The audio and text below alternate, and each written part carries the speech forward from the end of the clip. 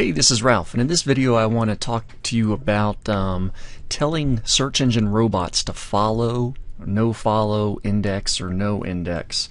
And this can have an improvement on your SEO. And that might be kind of a stretch of the terms, but you can certainly help out just a little bit your SEO by not diluting your pages. Let's get right into it here. So I mapped this particular web page. This is uh, Melanie's Food Fantasy. Looks like a nice vegetarian style diner in Boone, North Carolina. And let me view the page source. And what gave me the idea for this topic, by the way, I was checking out this page the other day and looking at their source code. And specifically, they have the Meta Robots tag in here. And the way they're using it is, is unnecessary.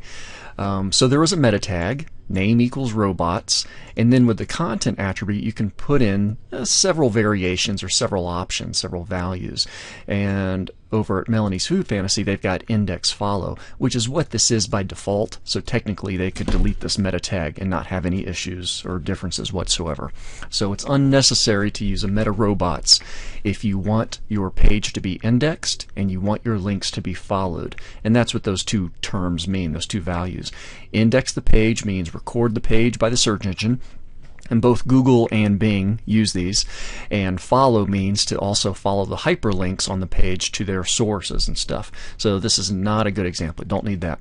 And there's a few other things obviously you can change on here too. This is an example of the old school just loading down the meta keywords. And this is why search engines no longer rely on the keywords meta because based on just the keywords, it would seem that this web page should be all about Boone, North Carolina. The word restaurant is used a few times, but not as often as it looks like Boone is. So you say, well, this page must be about Boone, North Carolina. It's really not. It's about this restaurant. So no need for that meta keywords for search engine optimization. But anyway, back to this meta robots, index and follow. So what I'm going to do here, I've got a uh, I got an HTML page set up here. For something else I was doing, but let me just go ahead and point out a couple variations.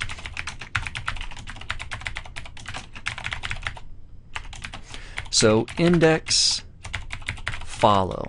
We have determined you do not need this, okay? By default, if you do not include a meta robots, search engines will index your page and follow the hyperlinks. However, you could do variations of this. Let's say you were making a page that you didn't want indexed. You know, why would anybody want to do that? Well, there are there are some reasons. It could be a page that's maybe just for family stuff, you know, and you don't really want that to get indexed on a search engine. Or it could be like a maybe a, a sitemap page that you do have for links, but you don't actually want that page to get indexed. Maybe, you know, kind of a back-end directory. You want the links followed, which it'll do.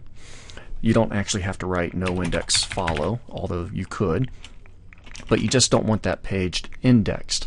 Now you could do a combination, or you could say no follow,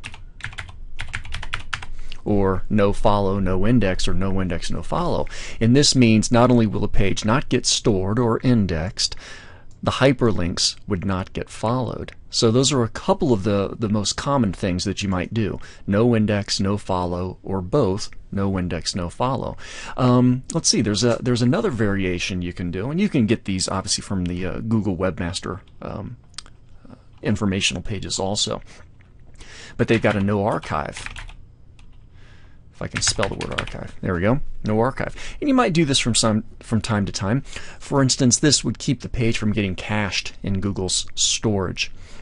Uh, for instance, let's say you're working on band's website and you have the uh, let's say the the page where you keep track of tour dates, you know, and shows that are doing, there's probably not a big reason why you'd want that to get archived. And you know, in fact, you may not want it to get archived because you don't necessarily want a year-old page of the band tour dates showing up somewhere on the web.